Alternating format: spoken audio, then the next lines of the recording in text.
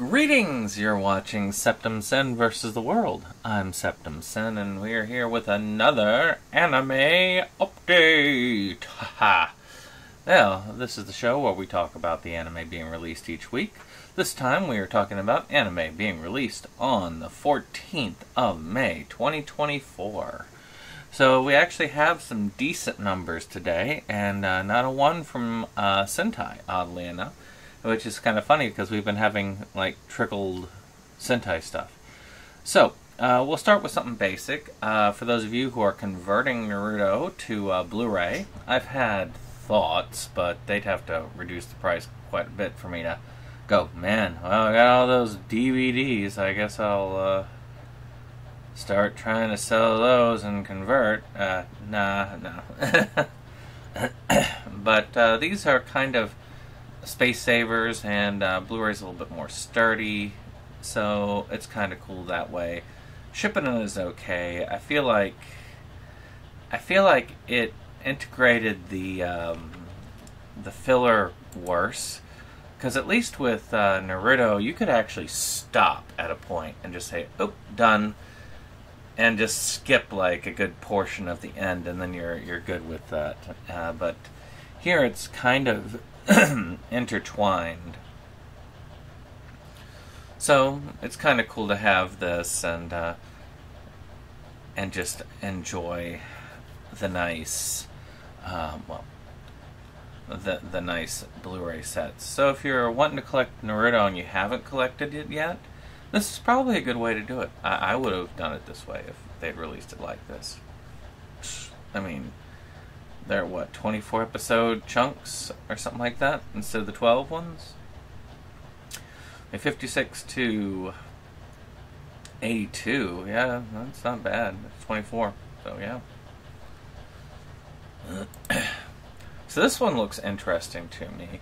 It's uh, about a uh, it's called a place further than the universe. Uh, this is a Shout Studios release, which means it's expensive, you know, eighty nine ninety eight. Um, and it's about these girls uh, doing, I'm guessing, a slice of life type thing where they're going to either the North or the South Pole. I can't really uh, figure it out. Uh, it looks like it could be the North Pole, but it could be the South Pole. Um, but uh, it looks interesting. I wouldn't mind getting it, but I'm not right now able to afford $89.98, so I'm probably not going to get it at the moment. But still, it is a cool looking series. I uh, do think it looks entertaining.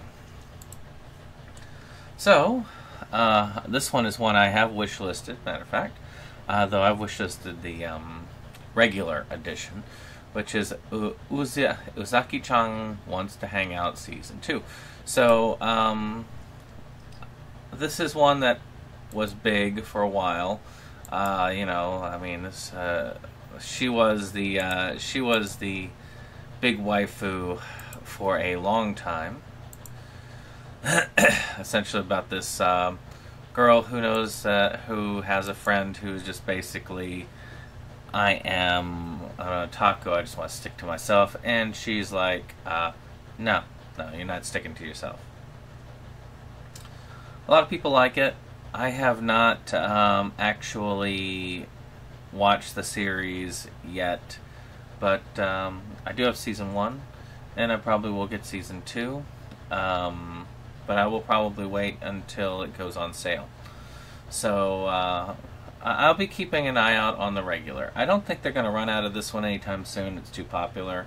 Limited edition maybe, but the uh, so if you really want to get on that limited edition, six seven ain't too bad for a limited. But um, there we go. So one that's been like hugely popular right now is the uh, Konosuba and Explosion on this wonderful world, which really it uh, it is a side story that um, revolves around Megumin, who is kind of the underage girl that uh, loves explosions in their group. Um, I mean, Konosuba is an isekai, but uh, we're not actually covering the um, the isekai person. Uh, we're actually covering one of the uh, party members. So it might be fun. I've heard a lot of people like it. Uh, Konosuba's not too bad. Um, I've got it wishlisted myself, so um, definitely something I am going to be getting hold of. But I know a lot of people they want to get at it as soon as possible. So hey, have at it, man. So well, it looks interesting, but I, I don't really know if I pay $52 for it. Uh, is this guy called Ice Guy and his cool female colleague. So uh, this guy apparently is some sort of ice spirit. He has ice powers, and uh, he uh, has this colleague that kind of makes him go haywire. And uh, so it's sort of like, I guess, a uh, romance with a twist. Office romance with a twist, I guess. so I'm sure this will be interesting. Uh, I wouldn't mind checking it out in the future if I see it cheaply. And last on the list is Kuma Kuma Bear Kuma Kuma Bear Punch season two. Now this one looks entertaining, uh, of course. For uh, but uh, you know, for those of you who love the Kuma Kuma Kuma series, uh, of course you will be wanting season two. I don't need to tell you what it's about because, well, you've actually, uh, well, you've actually watch season one or own season one. But um, you know, it looks entertaining. Looks like a kind of magical girl series, bear oriented.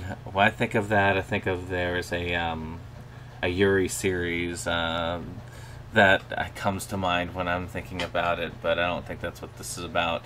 Um, so another one that uh, I think that if you really are into it, you're going to run to it. If not, you'll probably do like me and wait for it to go on sale. But um, looks good. So we got a pretty interesting wealth of titles, most of them from Crunchyroll this time, one from Shout Studios. So uh, I think this is going to be a fun week. Hope you enjoy. Let me know in the comments below which items are you interested in grabbing this time around. And we'll see you on the next one. Bye bye.